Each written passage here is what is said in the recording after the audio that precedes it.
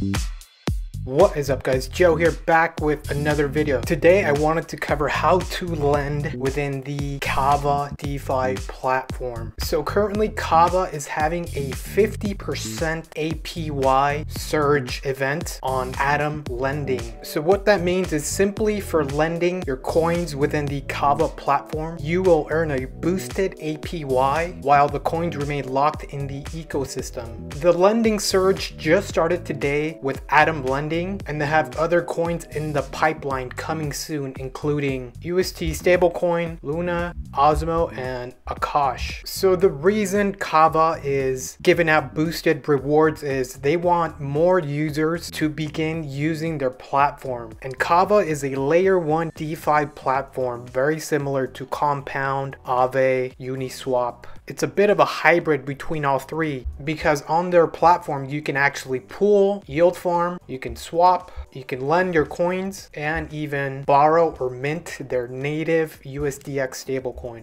So today I wanted to cover a complete step-by-step -step guide on how to lend within the Kava platform. So let's get started. And just to give you an overview of what Kava is. So Kava is a Cosmos coin. And so roughly there are about 200 different chains within the Cosmos ecosystem. And each one has a different purpose. So some of these you may recognize Osmosis, Cosmos, Juno, Terra Luna, Crypto.com, the Cronos coin, Akash, Persistence, Kava, Iris, and Injective. So the bigger picture here is all of these coins are interoperable because they were written under the Cosmos code. So ideally, if you wanted to swap any of these coins, you can actually go under the Osmosis DEX and freely swap or convert any of these coins for each other. And I do have a separate video converting how to swap any of these coins natively within the Osmosis ecosystem and how to yield farm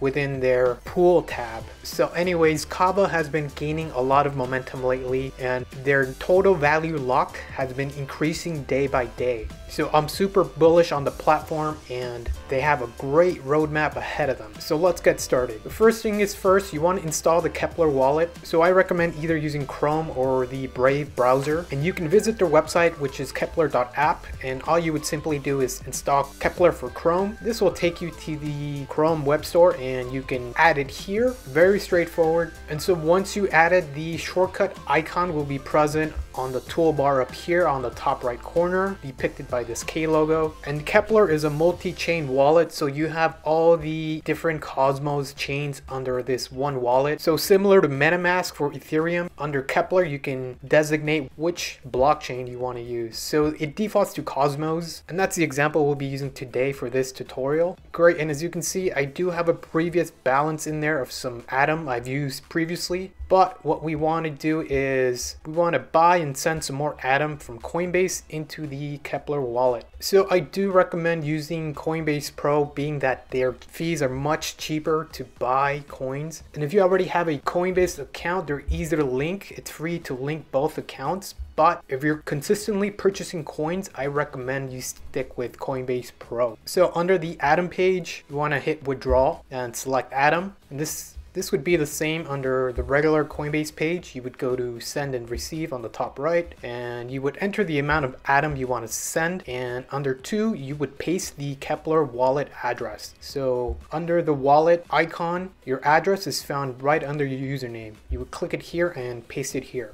Back to Coinbase Pro, select Atom, crypto address and our destination will be the Keplr Cosmos wallet. So verify you're under the Cosmos blockchain copy the address down here, go ahead and paste it, use this address. You do not need a memo to send it to the Keplr wallet, so check this on. This transaction does not require an Atom memo. And for amount, we're gonna go ahead and choose 15. And as you can see, there is an associated gas fee, which is the network fee. Anytime you send a coin from one destination to another, you do have to pay a gas fee. So here it would be 0.002 atoms in order for this transaction to process and we're going to go ahead and hit withdrawal. You want to verify this transaction on Google Authenticator on my iPhone. as you can see, my withdrawal has started. hit done should only take a few seconds and let's go up here back to our Keplr wallet and as you can see our balance updated we have an available amount of 15 whole atom amazing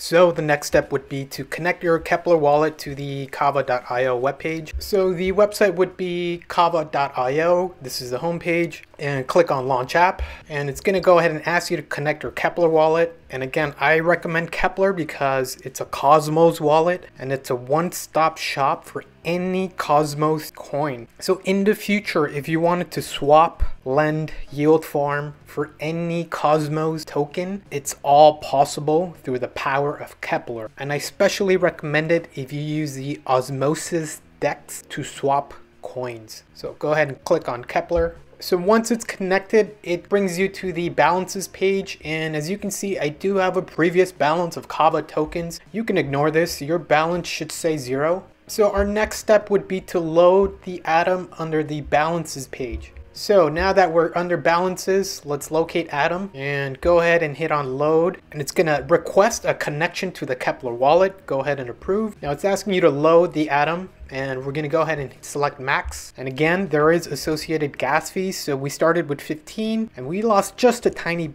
bit due to gas fees. Go ahead, click load. Now you do get this window where it gives you the different gas options. You have low, average, and high. I always recommend low because if you're gonna be continuously swapping and lending and yield farming, these fees add up. Although low takes the slowest to approve transactions, you will save money in the long term. If you want an instantaneous transfer, you would select high, but again, the gas fee is higher. So let's go ahead and choose low, approve.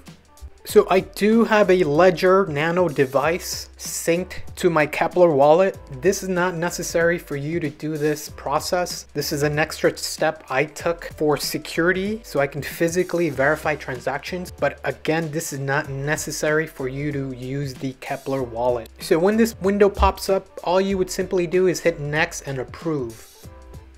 Success. Now it's confirming the transaction. This will take a few seconds. Transaction was successful. And so now we can refresh the web page. And if you scroll lower, we do see that now we have 14.96 Atom loaded on the Kava platform.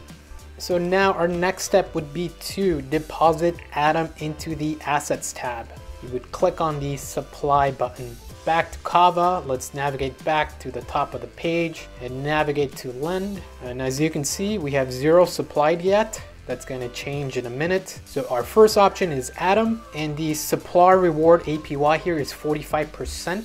So when this boosted surge event began, the reward payout was at 1700 but as you can see as more users join the pool there's less rewards to be shared and distributed. So now we're between 30 million and 40 million total value locked in the pool. So we're roughly hovering around the 50% reward payout rate. And this is just the way pools work. The more people in the pool the less rewards everyone gets and judging by this graph as you can see the more total value locked is in the pool, the rewards begin to fall off.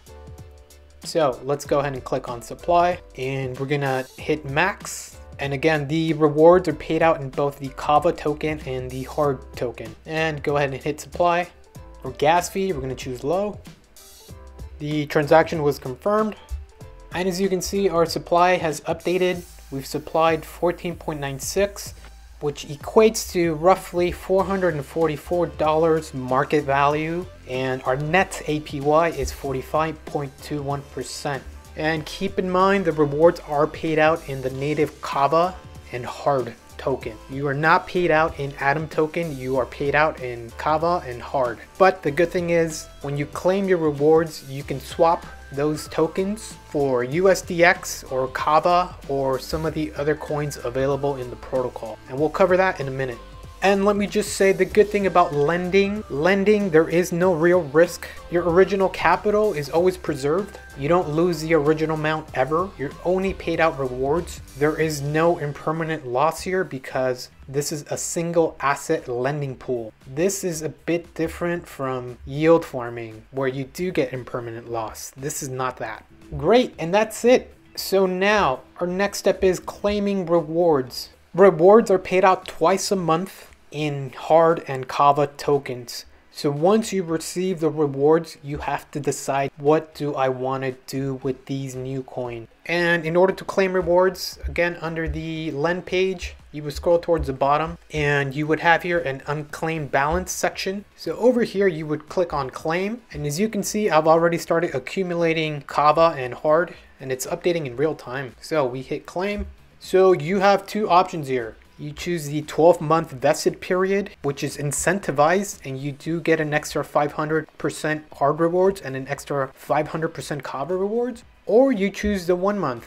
And this is very low payment. As you can see, not incentivized, not boosted. So one month is a one month locking period and 12 month is a one year locking period. And the reason they do this is if you choose the 12 month, they're incentivizing you to keep your coins in their platform to attract more users. They don't want people coming in and starting to pump and dump their token. They want to reward investors for remaining inside their platform. So for you as a long-term investor, I would recommend you stick with the 12-month plan. And here you can start to claim your rewards once you start receiving them. I am super bullish on Kava and everything they're doing. And this Atom Lend program is just the beginning. And like I mentioned earlier, once this Atom Surge is finished, and this will last roughly 30 to 90 days, after that, they'll have a UST stablecoin event followed by a Luna event, followed by Osmo, followed by Osmo, and lastly, Akash. So they're really wanting for users to stick within their platform and remain loyal. So best option for you, higher rewards, stick with the 12 months and hit claim. So once you claim your rewards, you have two options. Either contribute to a pool within the swap page or you can actually convert your coins to Kava for staking.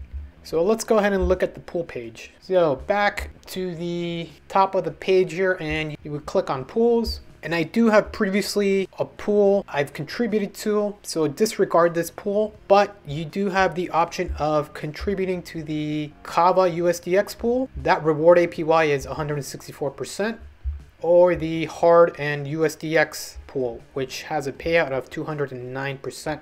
And if you're wondering what USDX is, that's the native stablecoin to the Kava platform. And a stablecoin will always retain its value of one whole dollar. The idea is for the peg of the value to always remain at one dollar. So for example, if we're paid out in hard, all we would do is hit add here and you can add to the pool, liquidity, you would choose hard and you do need the other pair which is the USDX pair. Remember pools are a 50-50 ratio. You need equal value of both coins for the pool to work. So how do you get any USDX? All you would do is go to swap and let's say you have your hard token in your claim section. So you would convert some hard into USDX. Same goes for Kava. Say you have Kava rewards under swap, you would just swap some for USDX. Great. And then finally, when you're ready to contribute to the pool, you go to liquidity here and you can choose the pair,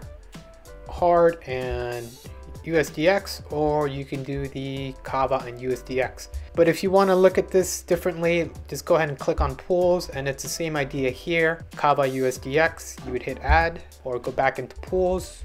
Hard and USDX, you would hit add. Great, and just remember these pools are prone to impermanent loss and if you don't know what impermanent loss is, it's basically just a price fluctuation, but the risk is minor. The reward payouts are great and actually the benefit of these rewards outweigh the risk of impermanent loss. Anything that's 100% or higher, even 200% is a great incentive to you. So lastly, our other option, if you do not want to contribute to a pool, you can convert it to Kava and stake it within Keplr.